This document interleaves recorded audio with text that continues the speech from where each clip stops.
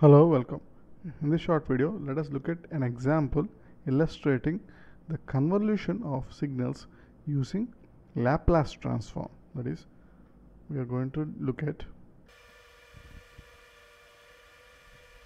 So, in this example, we are going to consider the following signals. x1 of t is e power minus at u of t and x2 of t is e power minus bt u of. So given these two continuous signals, we want to find their convolution output or the convolution integral. So to solve this problem, we are going to require the following property of the Laplace transform. So the required property of Laplace transform is translation in S-plane that is Laplace transform of e power at f of t is equal to capital F of s minus a. So given that uh, f of t as a Laplace transform f of s, then the Laplace transform of the, of the product e power at f of t is f of s minus a. That is the Laplace transform is shifted or translated by a value a. So we are going to use this property for solving this problem. So the step 1 for finding the convolution of these two signals is first we have to convert these two time domain signals into Laplace domain or S plane. That is, first we find x1 of s, which is the Laplace transform of x1 of t, and x1 of t is nothing but e power minus at u of t, e power minus at u of t.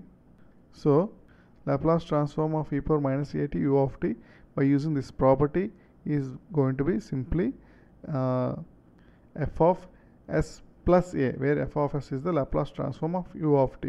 So recall that the Laplace transform of u of t is going to be is actually equal to 1 by s. So recall that the Laplace transform of u of t that is the unit step signal is 1 by s. So the Laplace transform of e power minus at u of t will be 1 by s plus a. Therefore x1 of s is the translated version of this one 1 by s plus a. Similarly, we can find x2 of s which is going to be the Laplace transform of x2 of t x2 of t which is Laplace transform of e power minus bt u of t. So by following a similar method as in the, this part uh, as in the calculation of x1 of s so x2 of s will be equal to simply 1 by s plus b. So x1 of s is 1 by s plus a, x2 of s is 1 by s plus b. Now step 2 that is we have to find the product of these two Laplace transform that is x of s is x1 of s multiplied by x2 of s. Therefore x of s is 1 by s plus a into 1 by s plus b which is going to be simply 1 by s plus a into s plus b. Third point. That is step 3. We have to find x of t x of t is equal to convolution of x1 of t with x2 of t. So by using the Laplace transform method x of t is basically equal to inverse Laplace transform of x of s.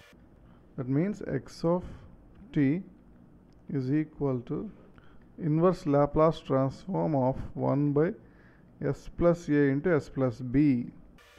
So we have to find the inverse Laplace transform of this function that is 1 by s plus a into s plus b.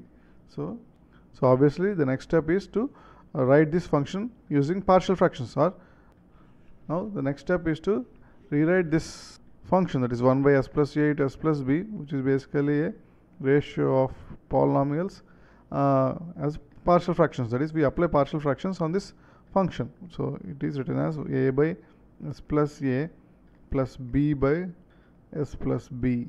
We can find the values of a and b as follows. So by comparing the coefficients of s on both sides we have a plus b equal to 0 and by comparing the constant so initially we compared the coefficients of s which are going to be a plus b equal to 0 and now comparing the constants we can see that capital A into small b plus capital B into small a is equal to 1.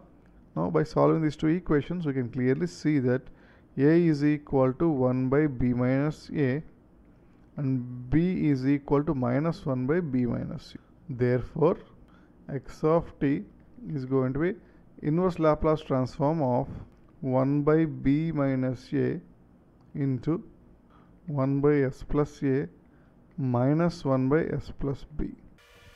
Now from step 1 we already know that uh, the inverse Laplace transform of 1 by s plus a will be e power minus at into u of t.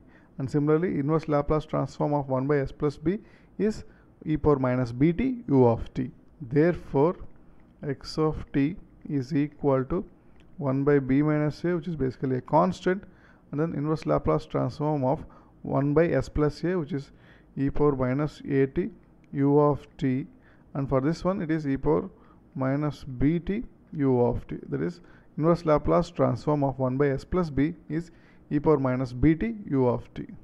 Therefore, the convolution integral that is output of the convolution of uh, x1 of t and x x2 of t is 1 by b minus a e power minus at minus e power minus bt into u of t. So, to summarize uh, we have looked at the convolution of two signals using the Laplace transform. So, in this example we have two signals x1 of t and x2 of t.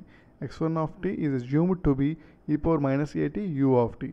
x2 of t is e power minus bt u of t.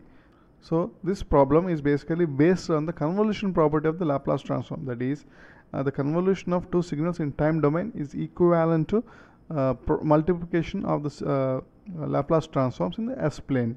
So, uh, for this solving this convolution problem there are three steps. So, in step 1 we find the Laplace transform of the Laplace transforms of the two signals. So, for a x1 of t equal to e power minus at u of t, x1 of s is 1 by s plus a by using the translation in s plane property of Laplace transform. Similarly, x2 of s is 1 by s plus b. And now in step 2 we multiply these two Laplace transforms. So, x of s is basically x1 of s into x2 of s. So, which is 1 by s plus a into s plus b. And in the final step, uh, x of t is basically which is the convolution of the two signals can also be found to be inverse Laplace transform of the product that is x of s. So, the inverse Laplace transform of 1 by s plus a into s plus b uh, can be determined by using the method of partial fractions. So, in this case we found that x of t is going to be lap inverse Laplace transform of 1 by b minus a into 1 by s plus a minus 1 by s plus b. And, and based on the step 1, we can clearly see that the inverse Laplace transform of this linear combination is 1 by b minus a into e power into e power minus at u of t minus e power minus bt u of t.